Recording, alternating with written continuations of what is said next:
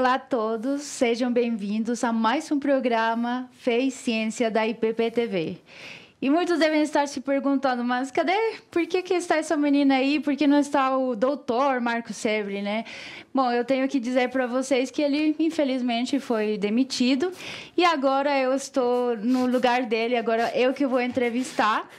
E bem, para vocês não ficarem com tanta saudade dele, né? Então, trouxemos ele mais uma vez, como para ele se despedir, né? Fechar assim, a, a participação dele como sendo entrevistado, né? Que tal? Ah, sim. Acho que foi o pastor Arival que me demitiu, não foi, Ana Maria? Isso mesmo. Ele fez um casting aqui novamente, ele gostou de mim, e falou, ó, oh, tá bom, fica aí. Sim, ah, então hoje vai ser um privilégio, né, gente? Eu ser entrevistado pela Ana Maria depois que o pastor Arival me despediu, né, Ana? E, e vamos, vamos ver se ela vai ser aprovada também, né, Ana Maria? A gente não sabe, vamos chegar até o final do programa. Tá certo. Bem, para não perder o costume, né, a gente vai começar com a sessão de Marcos pelo Marcos. Então, nos conte um pouco, né, sobre a sua vida, a sua infância, como chegou a sua conversão, né, como cristão, como chegou a ser cientista, onde nasceu essa vontade por ser cientista, se alguma vez teve conflito entre a sua fé e a ciência, ou se sempre teve um casamento perfeito entre ambas, como foi? Ó, oh, história é longa, Ana, mas vou tentar resumir para vocês. Você é Eu... é brasileiro? Brasileiro, e nascido... Esse Eberlin, de onde vem? O Eberlin é um alemão que veio ali da é, na fronteira da Suíça com a Alemanha. Meu bisavô é Marcelo Eberlin. E também tenho a parte russa da família, Koval. E a parte evangélica cristã é da parte russa. Então, meu bisavô na Rússia, ele se converteu, ele era católico ortodoxo e passou a ser batista. E ele, Ana, pegou todos os santos, colocou num saco e colocou no lixo. Nossa. E alguém é, denunciou isso para os, os padres da Igreja Ortodoxa. E ele foi colocado na prisão por cinco anos na, na Rússia. E ao sair da prisão, ele não tinha mais condições de, de viver na Rússia, porque fecharam-se todas as portas, não poderiam mais, é, não podia levar mais o filho na escola, pro, é, problemas com emprego e tudo mais. E ele decide vir para o Brasil, é, chega aqui no Brasil em 1910, né, num navio, Amazonas, e em Sumaré, naquela região, que tem muitos, muitos russos, letos, que vieram também por perseguição Sim. religiosa. Então, eu sou a terceira geração de uma é, família de cristãos, batistas, e Nasci então na igreja, como as pessoas falam, né? Nasceu na igreja, deve ter a mãe deve ter dado a luz na igreja, não é bem assim. então eu nasci na igreja, né, Ana? Eu, uh, a minha família era é, cristã, meu pai, minha mãe também se converteu logo depois que casou com, com meu pai. E eu sempre tive essa percepção de que Deus tinha criado todas as coisas. Eu conto no meu livro, no Fomos Planejados também ao entrar na universidade, né, Ana, eu fui confrontado com a evolução, com o Big Bang e tudo mais. E aí eu me tornei um evolucionista teísta. Fui por muitos e muitos anos, quase 40 anos da minha vida. Eu tive essa percepção que eu hoje considero bastante equivocada, vocês têm é, me visto falar, né? É, de que Deus teria guiado a evolução, participado de alguma forma da evolução. Até que em 2008, foi sua conversão, então. Foi a minha conversão autêntica, né? Eu me converti não só a Cristo, minha alma, meu espírito, mas a minha razão também. E em 2008 eu descobri o design inteligente através do Enésio Almeida Filho, que estou querendo trazer aqui o Enésio, Nossa. né? Agora eu já fui despedido, não sei se eu vou eu, trazer eu mais. Eu vou convidar, pode deixar, é, eu convido. convido o Enésio. E Enésio Almeida Filho, Enésio, venha, rapaz. É assim que tiver mais tranquila a pandemia, a gente vai, vai conseguir trazê-lo. E descobriu o design inteligente, o, o Augusto Nicodemos, reverendo, que era é, na época o, o chanceler do Mackenzie, me convidou para os com, é, congresso, né? Congressos, simpósios que eles chamaram, né? Darwinismo hoje. Um debate, né? Muito bom. Olha, a primeira vez que eu participei, né, no design inteligente, Ana, foi assim uma prova de fogo. Porque eles me ligaram e falaram assim: olha, você vai poder participar aqui? Eu falei, tá, tá bom, tudo bem. O que, que vocês querem que eu participe? Olha, só tem uma vaga no debate. e aí eu entrei, né? Tá, no, tá na internet lá, minha estreia no Design Inteligente, você acha no meu canal do YouTube. E aí comecei a, a defender o design inteligente no, no, Brasil. Hoje sou presidente da Sociedade Brasileira do Design Inteligente. É, também a gente coordena a Liga de Design Inteligente do, do Mackenzie, né, Ana? toda quinta às 5 horas, né? 5, 5, 5, 5, pessoal. Toda quinta às 5 horas na, na Liga do Design Inteligente. No canal TDI Brasil. Canal TDI Brasil. E também fui por 40 anos pesquisador da Unicamp, tinha um grupo lá muito. Estive na Unicamp por 40 anos, né? Toda graduação, pós-graduação, com o Laboratório Thomson por 25 anos. E desde 2018, aí o, o reitor na época, o professor Benedito, o, o reverendo, o chanceler na época, o Davi Charles Gomes, em 2014, no primeiro Congresso Brasileiro do Design Inteligente, falaram assim: Marcos, o que, que nós precisamos fazer para te levar para o Mackenzie? E eu já era apaixonado pelo Mackenzie, pelo simpósio Darwinismo hoje. Eu vim aqui em São Paulo, andava pelo Mackenzie aquela universidade toda bonita, toda organizada, né? Comparada com versículos, é, versículos lado. bíblicos e tudo mais, uma universidade verdadeiramente universidade, onde você tem o, o ponto e o contraponto. Aí eu falei para o Davi, ele me chamou no cantinho, o que, que, precisamos, que precisamos fazer para levar você para o Mackenzie? Eu falei, convidar. Fácil, né? É só convidar, tô, fa tô facinho, né? Falei assim, tô facinho. Aí foi, aí 2018 eu cheguei no Mackenzie, a gente hoje coordena o MacMass, o Laboratório Mackenzie de Espectrometria de Massas e Design Inteligente. Estamos fazendo pesquisas lá, né, Ana? A gente trabalha juntos. A Ana, é, lá ela é minha postdoc, aqui ela virou minha chefe, né? E a, e a minha carreira como cientista na Unicamp, espectrometrista de massas. Aí no Design Inteligente escrevi o Fomos Planejados, o Antevidência. Agora acabo de lançar mais um livro, viu, gente? é o duelo científico do século, Darwin contra Birre.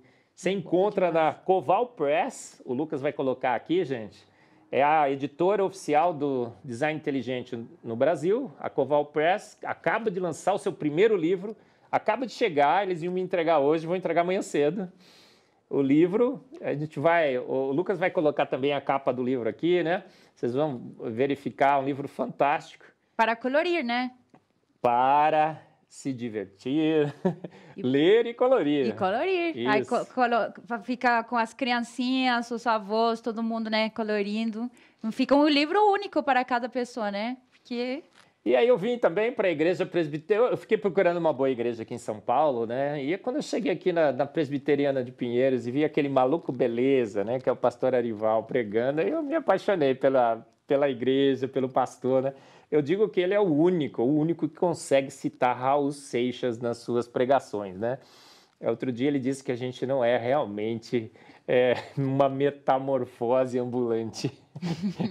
aí eu falei assim, ah, bom, aí eu gostei dele, né? Porque eu também cito, né? A gente fala, falo que nós somos malucos, beleza, no design inteligente. E aí ele me convidou para o Fé e Ciência, apresentei uma série, né, até que eu fui despedida e contrataram a Ana no meu lugar. é uma curiosidade, sabia que graças a esse debate de 2018 eu me converti ao, à TDI também? Uau, Ana, conta essa história. Sim, na, na verdade, é, eu nunca fui criacionista evolucionária, mas se é, eu participava de um grupo de fé e ciência onde se discutia sobre evolução e minha cabeça estava ficando meio confusa assim um pouco, né? Aí eu comecei a pesquisar por debates sobre ciência e fé, sobre religião também, e especialmente estava procurando por debates entre é, cristãos e ateus. Aí me apareceu em recomendados esse vídeo, debate 2008, Darwinismo hoje. Me chamou muito a atenção, porque eu tinha ouvido de design inteligente, mas como pseudociência. Falei, nossa, o que, que é isso? Aí eu fui, entrei, porque era, era, tipo design inteligente, criacionismo e ateísmo, né?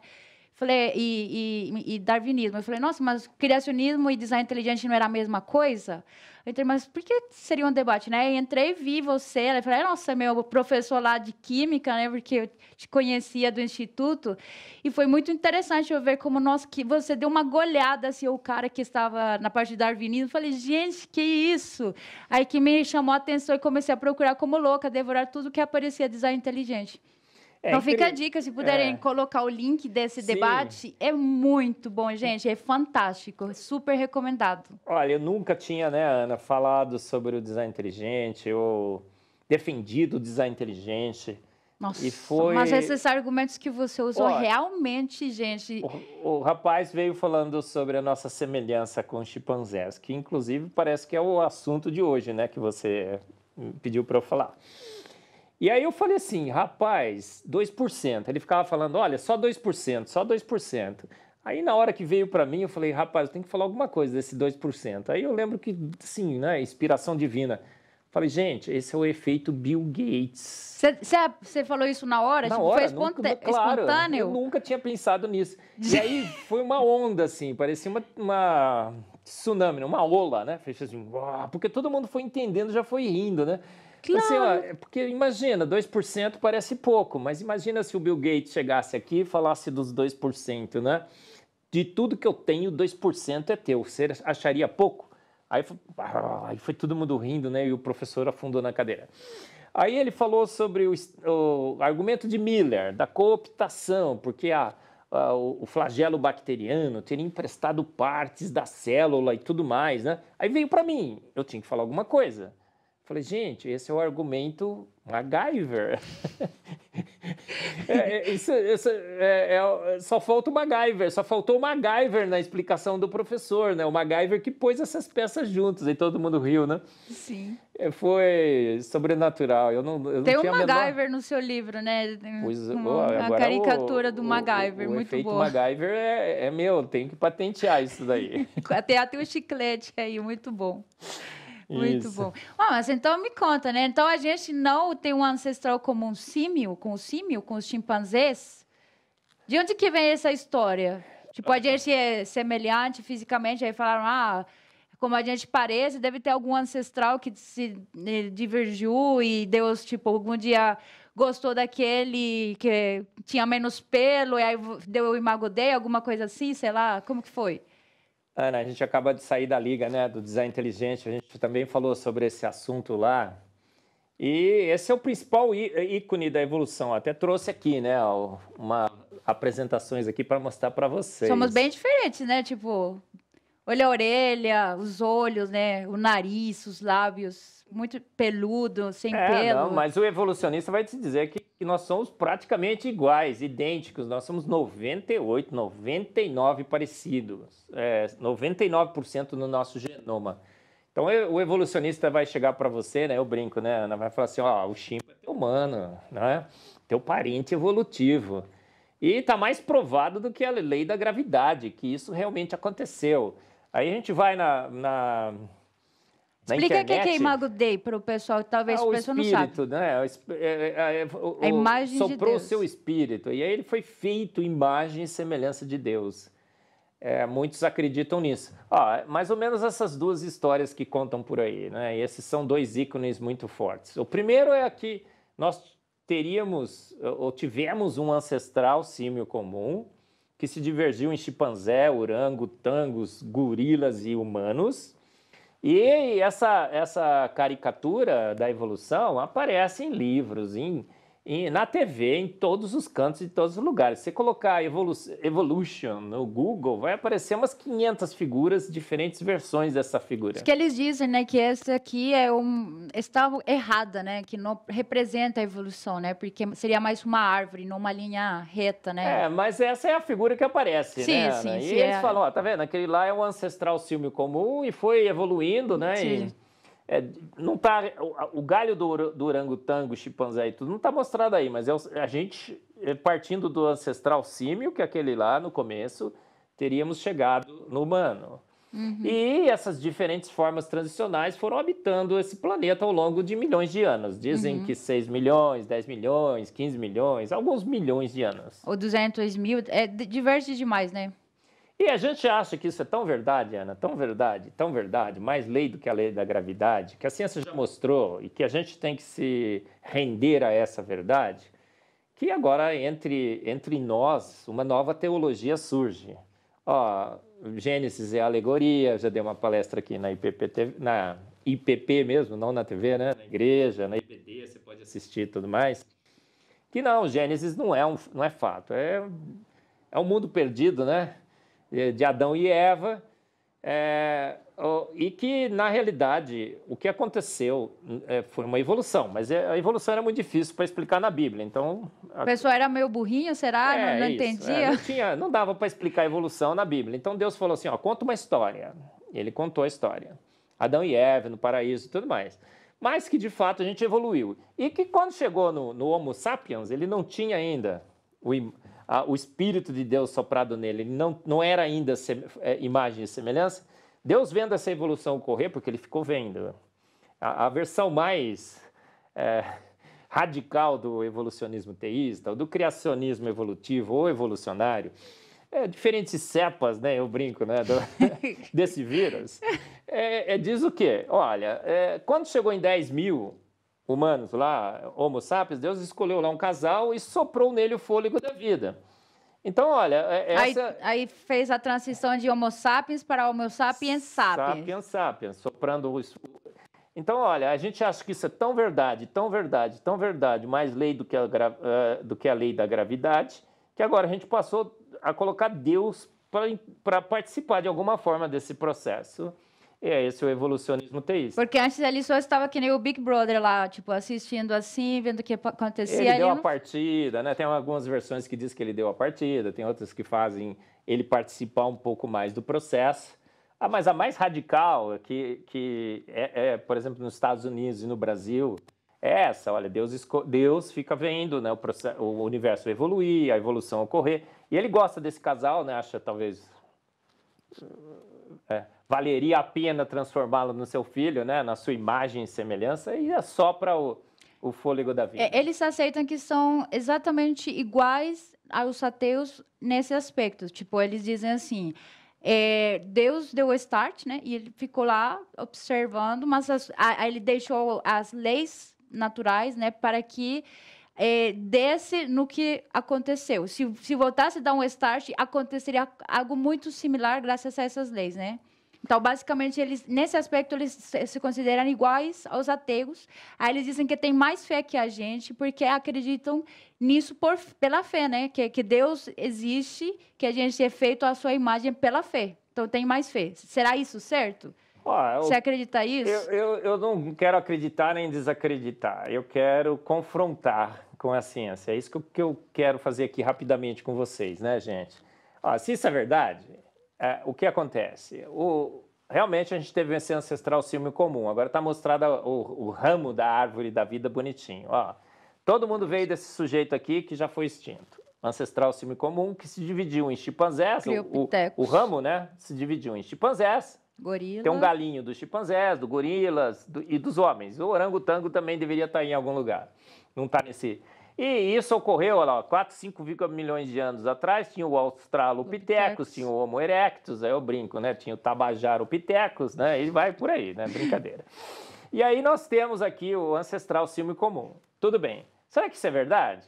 Será que isso é verdade? Essa é a grande questão. E eu tenho uma coleção imensa, imensa. Eu te falo no meu livro, falei na liga, vou tentar resumir o máximo possível aqui, de evidências que eu fui coletando, de livros, é, tem o, o é Genesis Apologetics, que eu vou citar muitas coisas deles, é um vídeo fantástico, o um link aqui para vocês assistirem, que provam que isso nunca aconteceu. A ciência prova que isso nunca aconteceu. A, a ciência prova que a evolução não é de um ancestral símio comum em chimpanzés e humanos não há evidência nenhuma. Pelo contrário, é, tudo fala a, a, contrário a um processo evolutivo tudo leva a crer que homem foi feito homem e chimpanzé foi feito chimpanzé. E por que, que eu posso falar isso? Né? Porque, olha, se isso fosse verdade, Ana Maria, É, o que acontece com essa sequência evolutiva? A gente deveria encontrar todas essas formas transicionais no Museu da Vida, no registro fóssil. A gente vai no registro fóssil e a gente encontra essas formas transicionais? Absolutamente não, né? O Rodrigo... E a Lucy e o homem do Neandertal, e, e eles não, so, não seriam? Ó, eu vou mostrar aqui, Ana, ó. O próprio Darwin, gente, a gente fala assim, ó, é, Darwin é amigo de Deus, realmente a gente tem que admitir que o Darwin estava certo, a sua teoria estava correta e tudo mais, e colocar Deus para fazer aquele processo de soprar o seu espírito é, é, simplesmente adaptar a boa ciência à boa teologia. Será que é boa ciência? Olha, o próprio Darwin já disse isso. A quantidade de espécies transicionais no registro fóssil deveria ser imensa. E essa, seja, e, e essa talvez seja a maior objeção, a mais grave e mais óbvia da minha teoria. Sim. Então, o próprio Darwin admitiu que no tempo de Darwin não tinha nenhuma forma transicional é, confiável no registro fóssil. Falou, cara, o negócio está feio no registro fóssil, essas formas transicionais não estão lá. O que, que o Darwin fez, Ana? Ganhou tempo, não é? É como muitas discussões com esses evolucionistas, eles falam, ciência é assim mesmo, gente, a gente não tem as provas ainda. Mas, mas vai chegar. Vai chegar, né? Então a gente está esperando chegar. É, Passam-se anos e após anos, após anos, essa prova não chega, eles falam que chegará. chegará. É, eu não sei, né? É, eu sei que antes da minha morte eu sei que essas provas chegarão, né? Mas quando será? Conhece a música? Você não conhece? Ó, mas a culpa é da nossa ignorância, Darwin disse. A gente não bisbilhotou muito ainda o registro fóssil. A gente não foi ainda lá ver tudo o que tinha e tudo mais. É, encontraremos. Ana, passam-se 150 anos. Ó, em 1980, já Stephen Gould disse o seguinte: olha, gente, não encontramos. A extrema raridade de formas transicionais no, extremo, no registro fóssil, extrema raridade, ó, raridade já é raro. Sim. Ele disse extrema raridade é, é, para dizer assim, ó, não encontramos nada. Para ele não falar nada, ele disse extrema raridade. A extrema raridade de formas transicionais no registro fóssil persiste como ne negócio secreto da paleontologia. As árvores genealógicas que adornam, ele falando, gente, o que está no seu livro é um adorno, é um desenho, a gente sabe disso que é. é as formas tradicionais só né? estão no desenho do livro, estão nos filmes, estão nos, nos, na, nos vídeos que eles produzem, mas é artístico. Imaginação. Imagi na imaginação e, e no papel, mas Sim. na vida real a gente não encontra. Nos fósseis, Falou, só tem os, os, os, extremos, mas o resto é inferência. Você vê o homem, você vê o, o chimpanzé, você fala, ah, então vieram de um ancestral símio comum, inferência. Uhum. Stephen Jay Gould já falou sobre isso. Ó, o homem de Java, Ana, que você mencionou, eu vou falar uhum. rapidinho, né, que a gente não tem muito tempo, que eu tenho muitas evidências ainda para mostrar para vocês. Gente, olha só, um fêmur humano e a calota craniana de um grande macaco. E gente, já fizeram... Ana, você quer ficar famoso? Como paleontólogo, o que, que você faz? Você cata um ossinho aqui, cata um ossinho lá, caça um craninho aqui, junta tudo e fala, achei, gente, achei. E como eles não têm nada, absolutamente nada, é, eu brinco, né, Ana? Se você não tem nada, nada, nada, você acha uma nota de dois reais voando na rua, você, anda, você passa na frente dos carros, tudo, você vai atrás daquela nota de dois reais, não é? Agora, se é o Bill Gates, né, Ana? O, o, o filho do Bill Gates, você vai correr atrás de uma nota de dois? Não, de jeito nenhum. Você vai correr atrás de, de, juntamento, né? de juntamento de ossos? Não. Por que, que eles correm atrás dessas, desses colados com super bonder, né? esses ossinhos montados? Porque eles não têm nenhuma forma transicional. Olha, aí você fica famoso por algum tempo, diz que achou, depois de um tempo começa a investigar, fala que aquilo lá é, é falso, mas ninguém comenta mais e você, você teve seus, seus anos de fama. Ó, Neandertal, ah, é um bruto? Ana, se entrar um Neandertal aqui, você vai falar assim: nossa, que garotão alto, né? Forte, cabeça grande, deve ser inteligente. Não era bruto, ele, ele tinha é, ferramentas é, sofisticadas, ele dominava pesca, artes, música. É, é mais... O cérebro era maior, não era uma coisa assim? Maior que o nosso, Ana. Acho que uma boa indicação de, de inteligência, não de sabedoria, mas de inteligência, de capacidade, é o tamanho cerebral, de massa Em proporção com o corpo, né? Em proporção Sim. com o corpo. Então, olha, ah, saiu na National Geographic, The Other Humans, os outros humanos, talvez mais humanos que a gente, mais inteligentes. Ô, Lucy, Lucy, se você entrar nos até documentários... filme, né, gente? Nossa. Gente, se você entrar no documentário, tem lá no Genesis Apologetics, tem um, um vídeo só de, da, da Lucy, ou Lucy, Lucy, como você preferir. Gente, os ossos nem sequer estão completos, está faltando um monte de coisa. Eles fazem simulações e tudo mais. Era um chimpanzé, não era humano, não é forma tradicional. É, descobriram recentemente que pela forma do quadril ela não podia estar ereta, né? Ela era, é, que nem chimpanzé mesmo, né? Mas... Apenas um chimpanzé pigmeu. Exato que andava um pouco mais ereto, porque o chimpanzé consegue andar ereto, só que ele não anda normalmente, ele fica ereto e consegue andar, mas não é a forma normal, é como a gente consegue andar de quatro também, não é? Sim, sim. Então, olha, ó, o, o, esse aqui é o que eu mais me divirto com ele, né? Porque eu tenho uma brincadeira que depois eu vou mostrar para vocês. É o Homo na LED, é o mais no, recente, é um dos mais recentes. Ah, fizeram a maior festa, saiu no National Geographic, Aquela história, correndo atrás do dois, dos, da nota de dois reais no meio dos carros. E aí falaram que era mais uma forma transicional. A partir de um crânio já criaram o bicho, tiraram a foto, parece que você está vendo ele ali, né? Impressionante, uma foram, obra de arte mesmo. Foram fazer a datação, Ana, de carbono 14? 250 mil anos. Ele é 10 vezes mais novo do que qualquer coisa decente que poderia ser. É, porque deveria ser pelo menos 2, 3 milhões de anos atrás. Ele tem 250 mil anos, pela datação com carbono 14, que eu acho que é muito mais recente do que isso, né? Então eu brinco, olha, isso aqui, olha, gente, parece a foto do bicho e tudo mais. Você vai, você mostra isso na TV, todo mundo fala, nossa, tá vendo? Olha só, evoluímos mesmo. Os evolucionistas estão certos, os evolucionistas teístas também, né, gente? Estão tudo certo. Olha aí, tem até a foto do bicho. Aí eu pus no meu eu pus no meu Face, né, Ana? Esse não é o Homo na LED, é o Homo na Lisa, né? Pura obra de arte, gente, pura obra de arte. É, então, ó, no registro fóssil, esquece.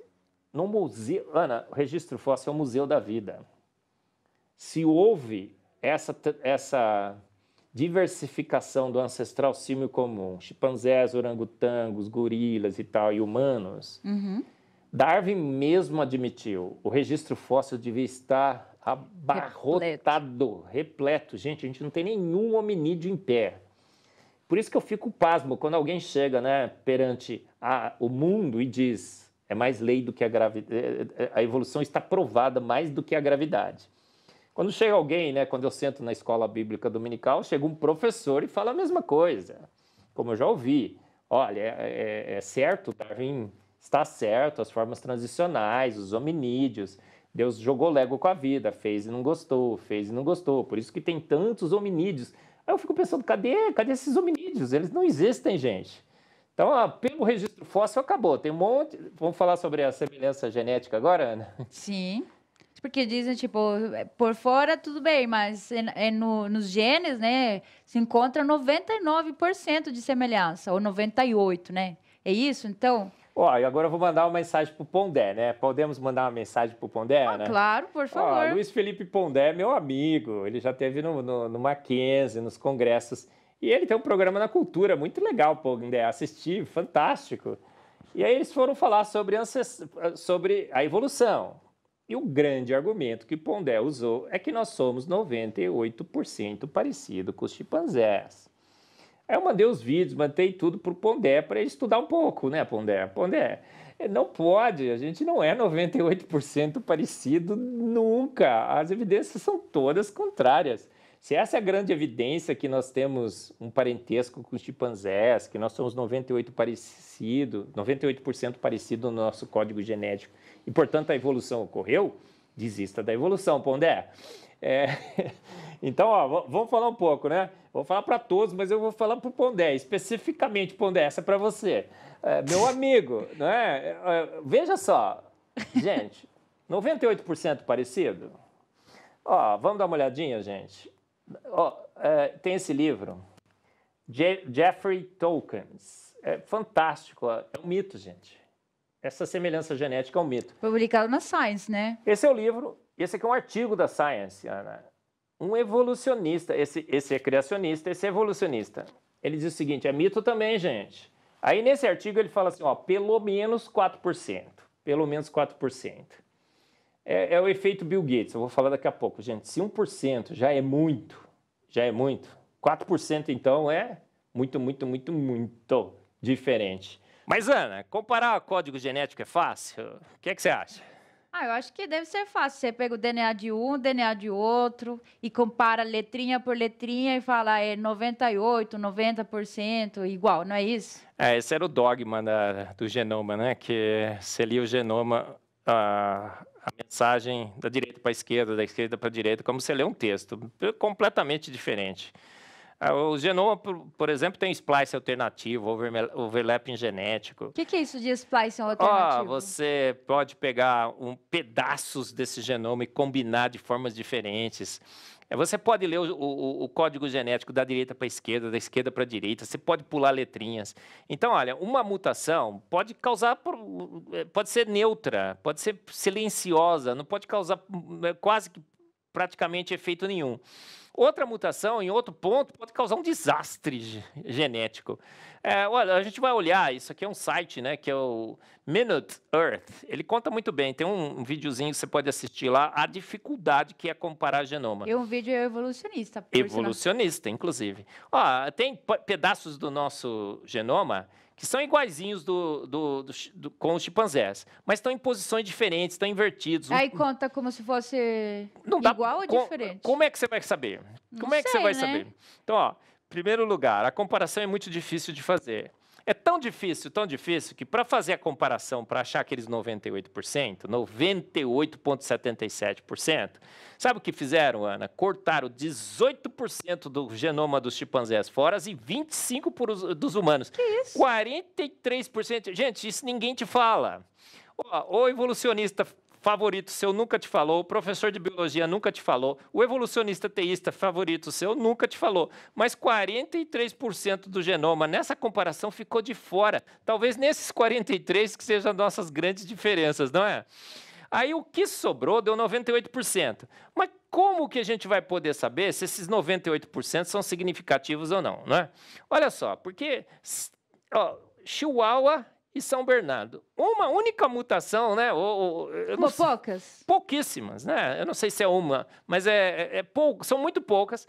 Ó, fazem com que um chihuahua seja muito diferente do São Bernardo. Agora você vê esses dois ratinhos aqui, é o rato algeriano, né? E o de o, o rato house de casa. É comum. Sim. Ah, o que acontece? Tem um monte de mutações diferentes, mas eles são essencialmente na, parecidos, muito Por parecidos. Fora. Então, pela ciência da parecença, né, que eu brinco com a evolução, que é a ciência da parecença, parecido então é, ah, você vai falar assim, poxa vida, esses são muito, muito parecidos. Não, eles têm um genoma mais distinto do que aquele. Olha aqui a frasezinha, a vírgula, a diferença que faz. Let's eat grandpa ou let's eat grandpa. É, na, em teologia a gente pode dar um exemplo também, né? Em verdade, em verdade te digo hoje, estarás comigo no paraíso. Em verdade, em verdade te digo, hoje estarás comigo no paraíso. Sim. Então, faz um, muita diferença. A vírgula foi mudada, né? Tem umas interpretações teológicas para você colocar o purgatório no meio, né?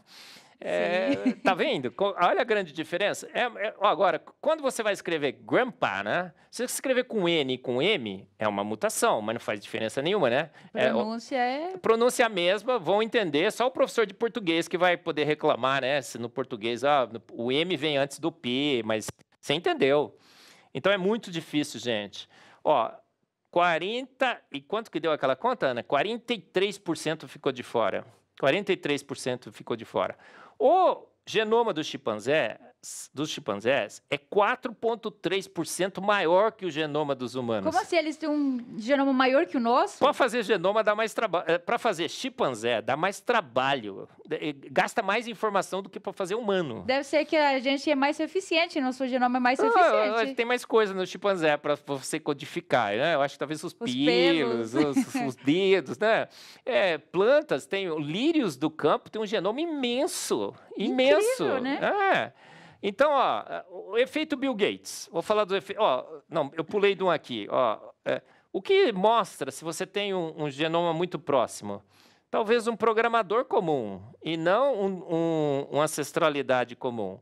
É, programadores que escrevem softwares como o seu marido, André, ele sabe muito bem, que eh, todo programador que vai escrever programas distintos usa uma, uma, um, um, conjunto clássico ali, né, standard, de, de procedimentos, de é, rotinas de programação, né? Então, programas, o mesmo, é, programas diferentes escritos pelo mesmo programador vão ser muito semelhantes, porque ele, ele já está acostumado, né? Com uma lógica, né? Com lógicas específicas, com rotinas de programação As bibliotecas específicas. que usam. É. Exatamente. Ó, ó, o efeito Bill Gates, estava esquecendo. Ah, eu, aquele efeito, aquele efeito que eu usei no, no darwinismo hoje na Universidade Presbiteriana Mackenzie em 2008, quando eu estreiei. Gente, se fosse 2%, e não é muito, muito, muito mais. É, já... você tirou 25 e 18, gente, que isso, é absurdo. Mas se fosse 2, Ana, se fosse 2%, uhum. o que aconteceria, gente? 2% é de 3,2 bilhões. Então eu brinco, né, para o pastor Arival. Imagina que chega aqui o Bill Gates, né, vê toda essa estrutura da IPPTV e fala assim: nossa, mas precisa ficar melhor, pastor. De tudo que eu tenho, vou fazer uma doação de 2%. 2%, pastor Arival, é pulos de alegria, né? Ah, vamos, mas o pessoal acha que 2% é pouco, mas precisa saber do quê? 2% do quê? 3,2 bilhões de pares de bases nós temos no nosso genoma. Isso dá 650, 650 mil mutações, é, diferenças entre os nossos códigos genéticos. Mas se fosse dois, gente, mas é 33 dá um bilhão de pares de bases. Então esqueça, não há nenhuma possibilidade de que 6 milhões, 10 milhões, 15 milhões, pode dar um bilhão de anos, isso não ocorreria. Esse ancestral símio comum se diversificando. A outra, outra coisa que eu uso muito, né, a comparação da melancia, nuvem e água viva. Uhum. Os três têm 98% de água, nuvem, melancia e água viva.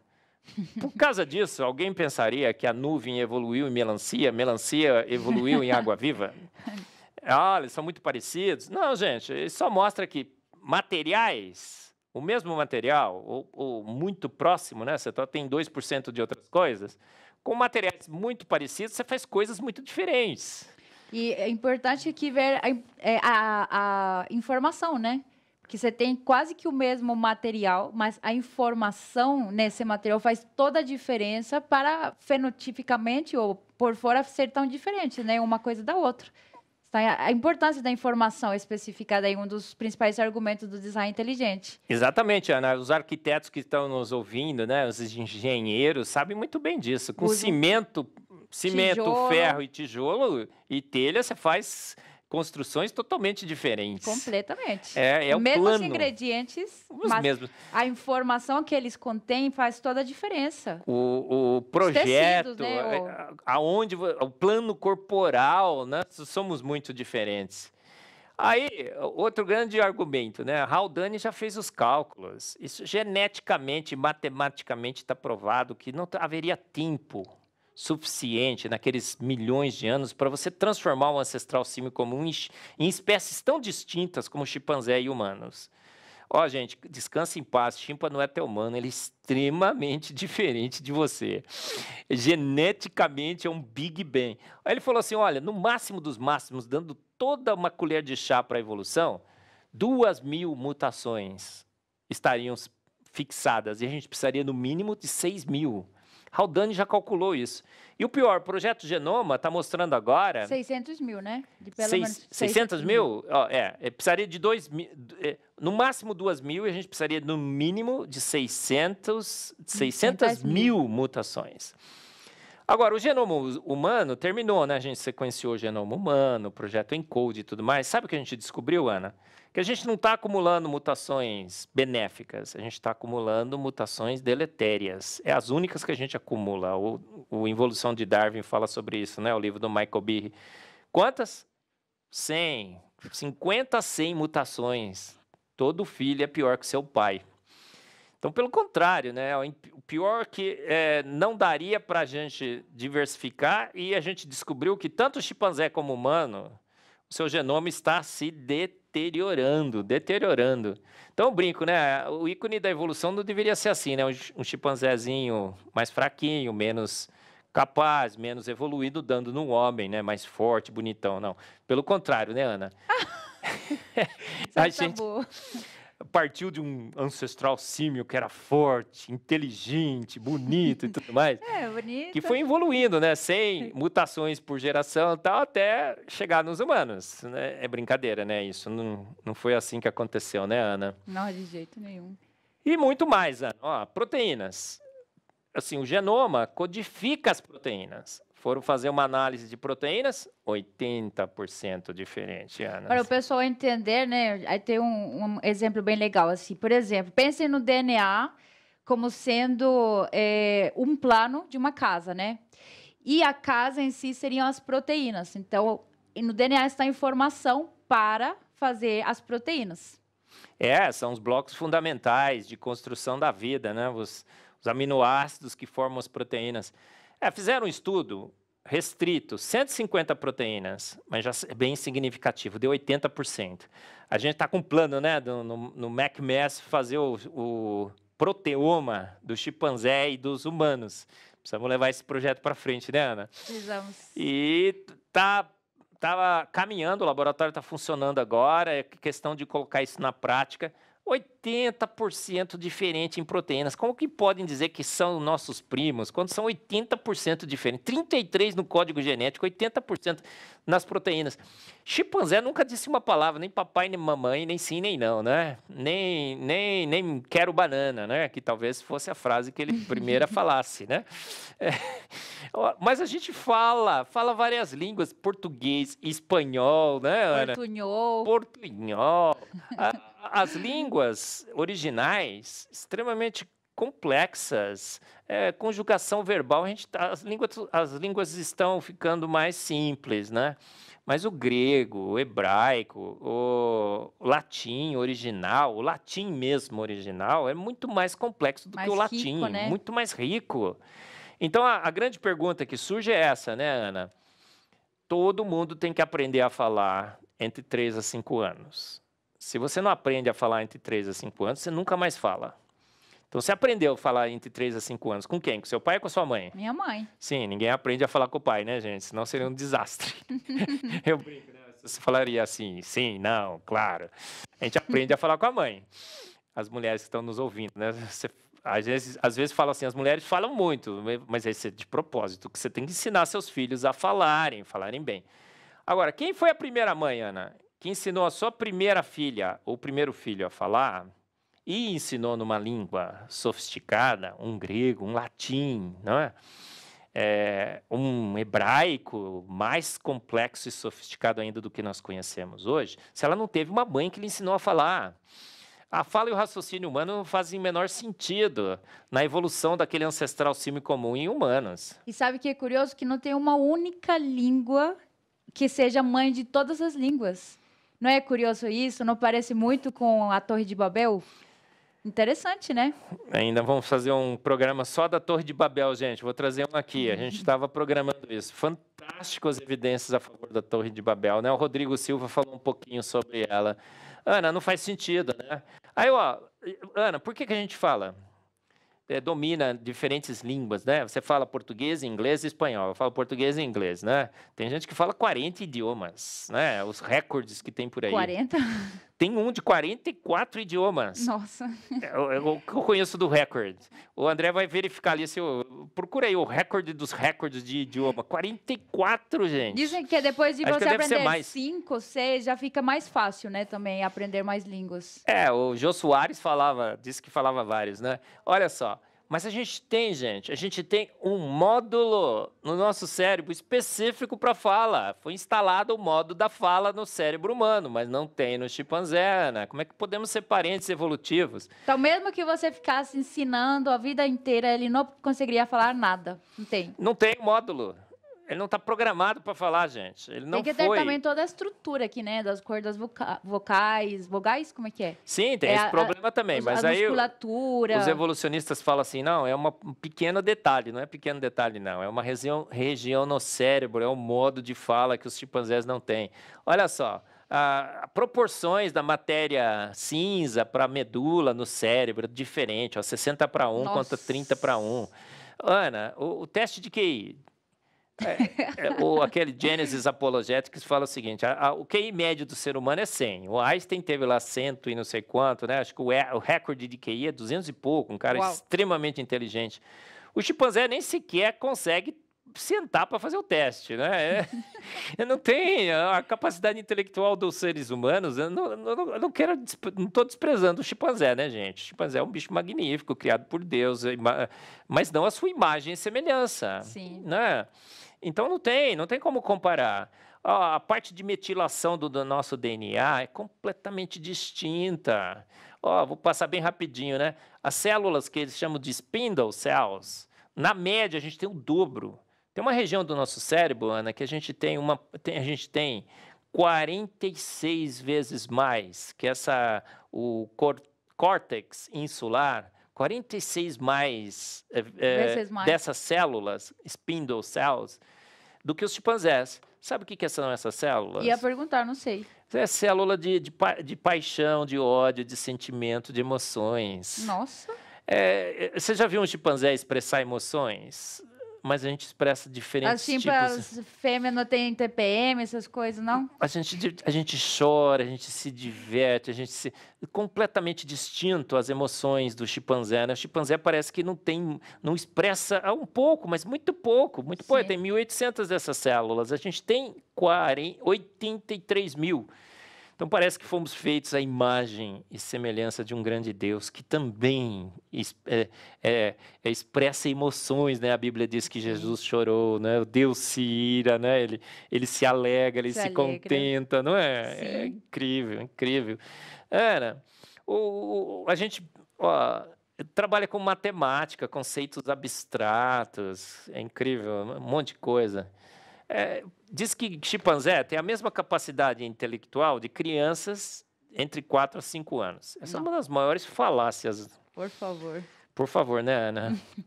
Eu brinco, né? Tem o meu moleque, o Nicolas, agora ele tá com 8, 9. Mas quando ele tinha 5, eu falo, o menino é um gênio. Ele faz isso, faz aquilo, parecidinho com o pai, né? Gente, aqueles chinesinhos, né? Você vê, Nossa. coreano, chinesinho. O cara fica tocando piano como um mestre. Aí tem, tem meninas, né? Eu vejo aquele é, American Has Talent. Chega lá a criancinha lá, a menina vai cantar ópera. Tem uma que cantou ópera magnificamente bem lá, né?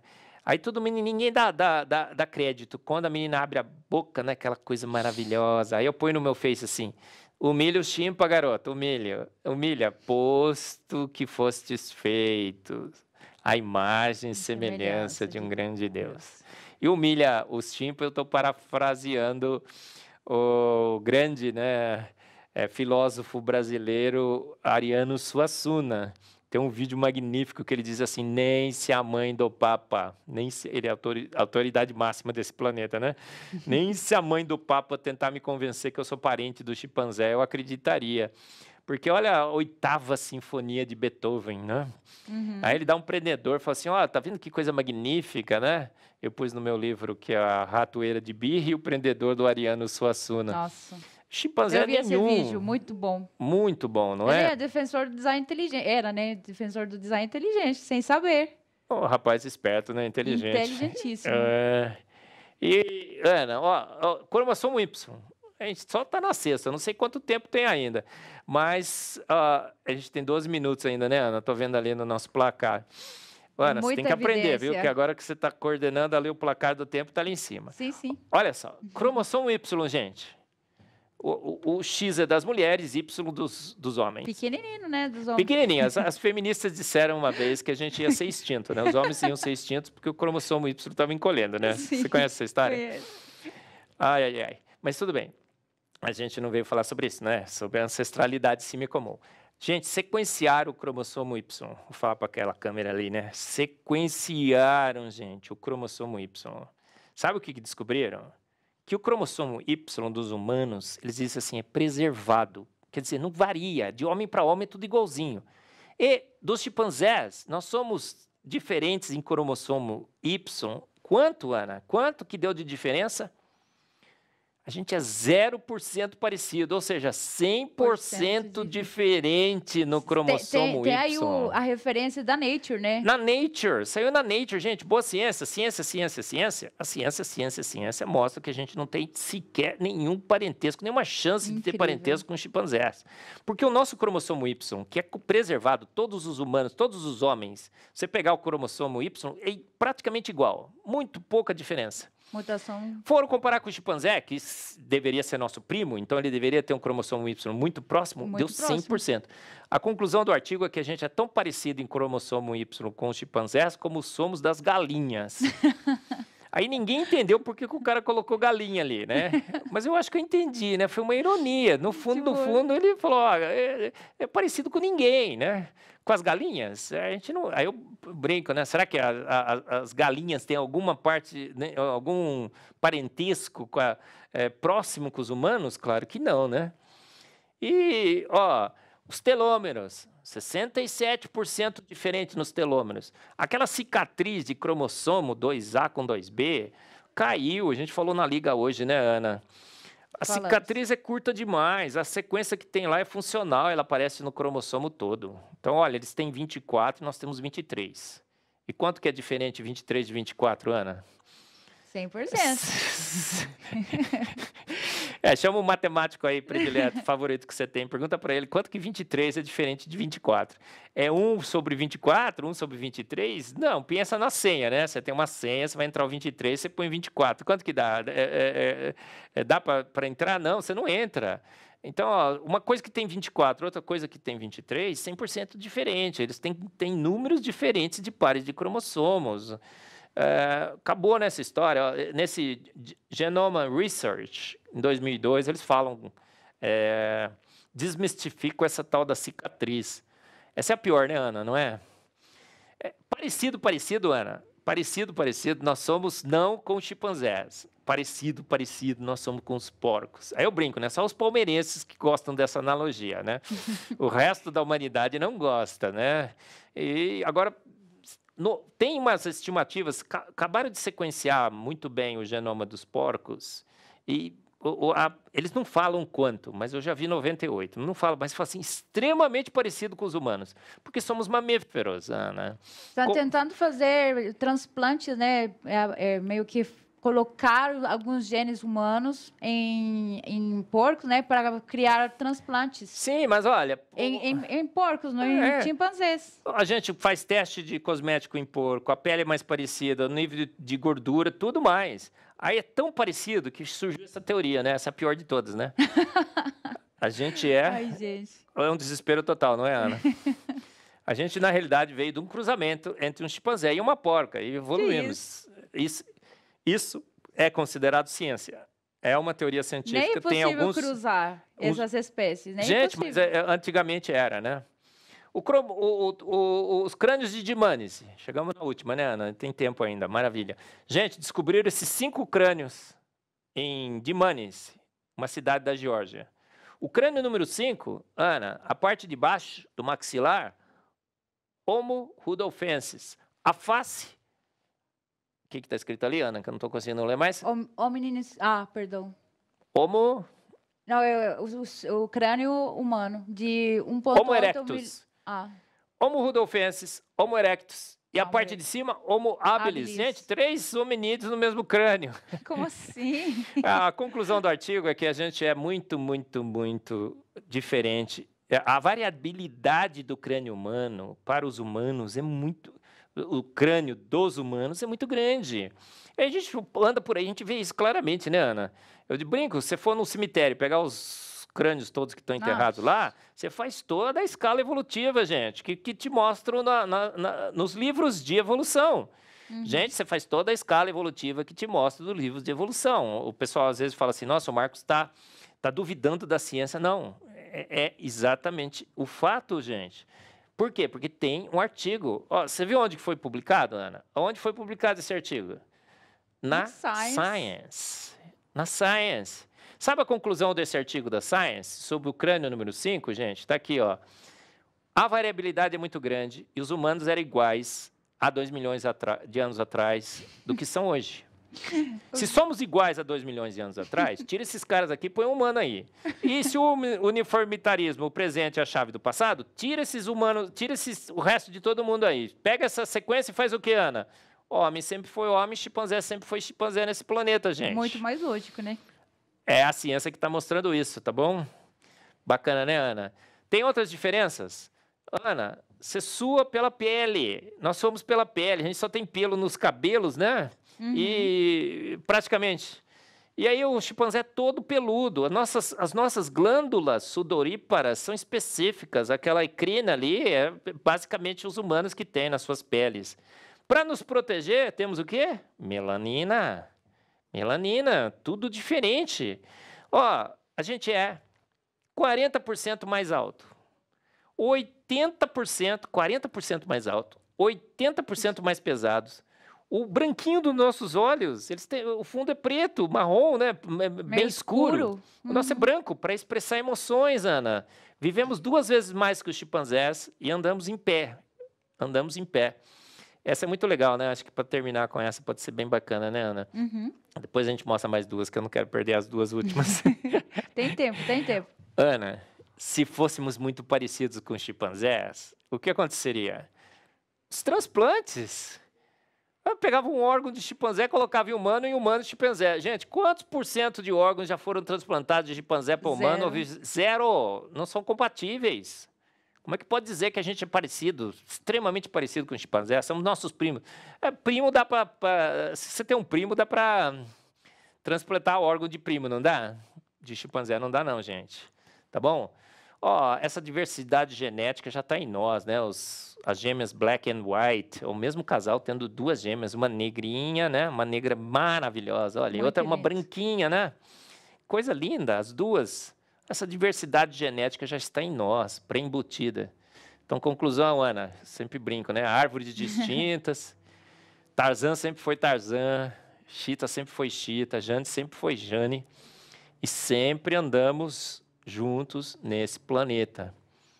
Então, foi-se, né? Foi-se a evolução, foi-se o evolucionismo teísta. Fomos feitos prontos, Ana. Fomos feitos prontos. Excelente notícia, né? Chimpanzés e humanos, feitos prontos por um ser de extrema inteligência. Ufa, Ana, chega até o fim, hein? Certinho o tempo, perfeito. Uhum. Não sobrou tempo ainda. Quer falar mais alguma coisa? Ah, pessoal, é, é a boa ciência, né, Ana? É a boa ciência que eu procuro seguir, você também procura, não procura, Ana?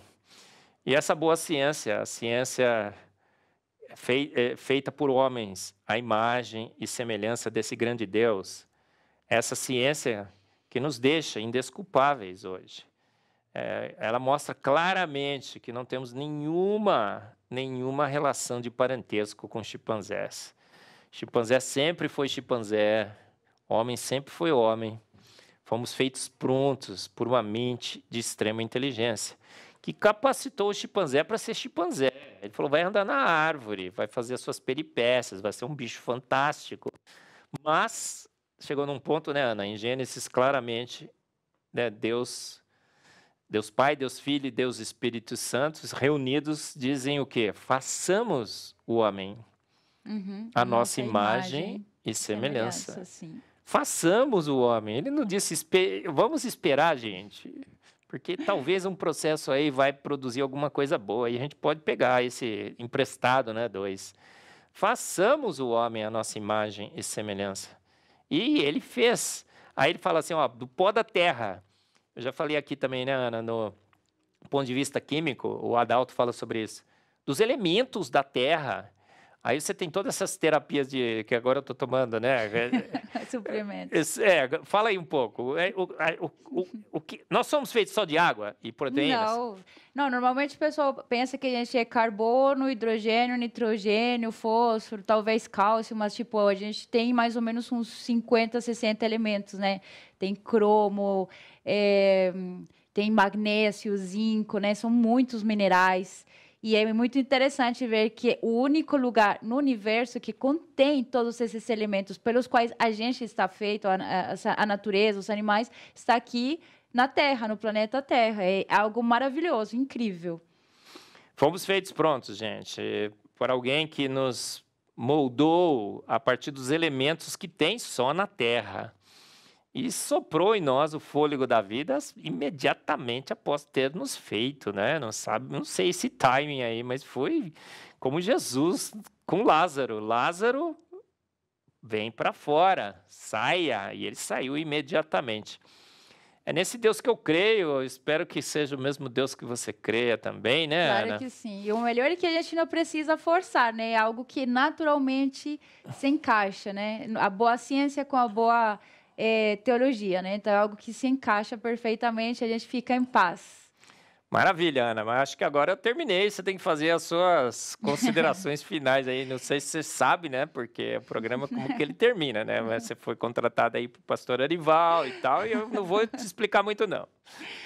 Não, gente, eu queria agradecer muito, né, por, pela sua participação, por estar aí no chat e mandando um monte de mensagens, tenho certeza, né? A gente vai depois dar uma olhadinha.